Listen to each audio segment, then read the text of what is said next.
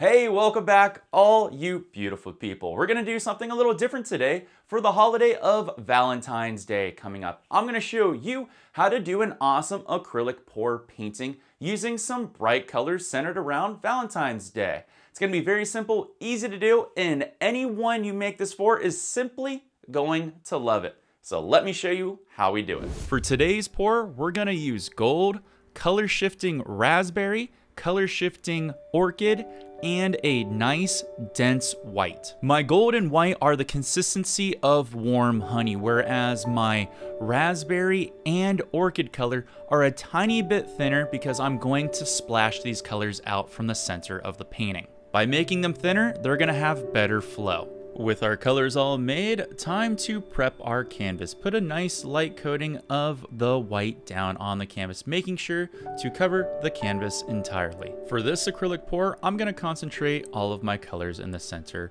by transitioning from drops of raspberry to orchid to gold to white and repeating that process till I get kind of a nice pool of colors where I'm happy with.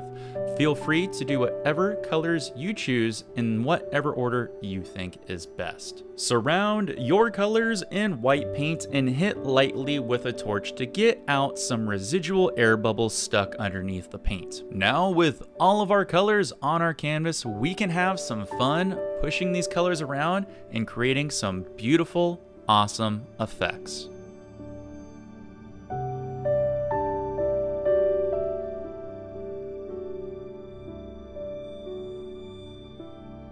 To make sure the eye is concentrated in the center of our painting, I'm going to add even more white around this painting, thus enhancing the white vignette styled look. This way, all of the color is more or less concentrated towards the center of the painting. There will be a little bit of flow that reaches out, but that's what adds that extra little spice and colors that push through, making each piece unique.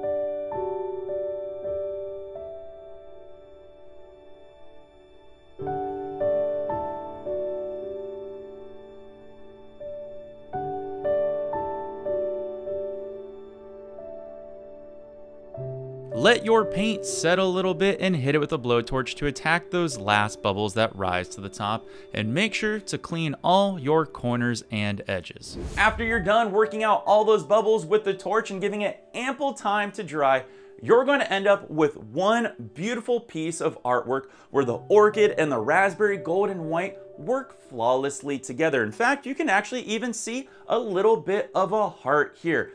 Anyone you make this for is going to love it and it works perfectly within a hallway or bathroom. Any one of your sweethearts out there is gonna love that. Speaking of sweetheart, I should probably give this painting to my best girl out there. So let's get this all ready. And of course, I think my best girl is always gonna be mom. That's right. I'm a mama's boy. Deal with it. I don't care what you say.